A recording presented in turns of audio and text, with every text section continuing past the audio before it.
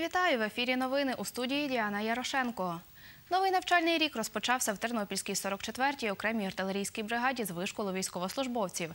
Про це повідомив пресофіцер Юрій Кульпа. У клубі військової частини командири штабу і тернопільських артилеристів визначили комплекс заходів на 2020 рік.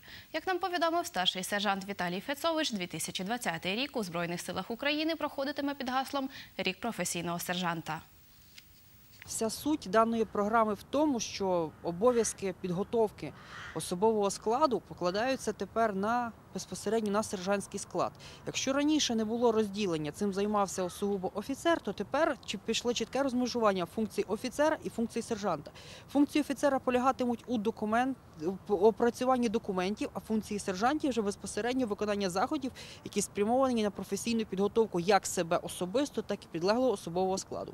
Гаслом даного року є «Слідуй за мною, роби як я». Протягом даного року основне завдання наше це якісна підготовка військовослужбовців до виконання завдань за призначенням.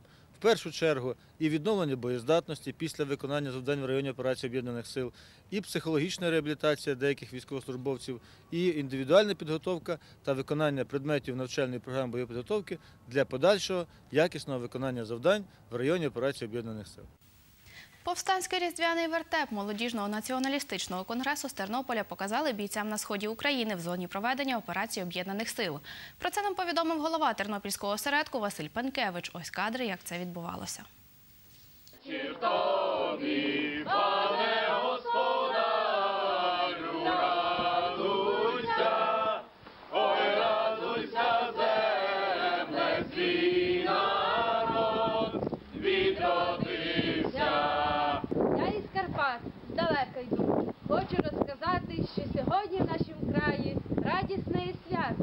Народився Божий син. Нагадаю, на схід України з Тернополя повстанський вертеп молодіжного націоналістичного конгресу вирушив 8 січня. Поїхали 10 учасників. Тоді з ними поспілкувалася наша знімальна група. Наші повстанці разом зі зв'язковою і з віздарем е, звіщають радісну звістку про народження Ісуса Христа. І далі з'являються ну, жиди, які виводять е, Сталіна. Сталіна він є в ролі Ірода.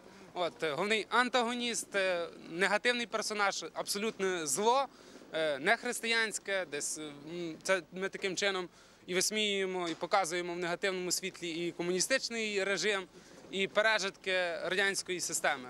Учасниця молодіжного націоналістичного конгресу Оксана Тіцька віншує. Я віншую як кожен. Най господар жінков спи. Вистивали синків, як у лісі пеньків, а дочок, як на небі зірочок. Віншую, віншую, бо коло вас колбаску чую. І дотисі не вступлю, поки всю не злуплю.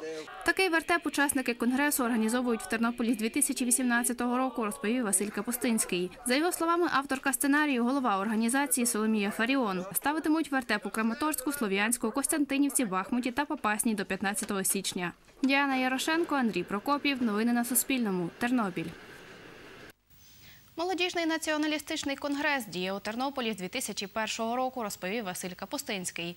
За його словами, в цій організації є 30 учасників. Вони займаються патріотичним вихованням молоді та молодіжною політикою.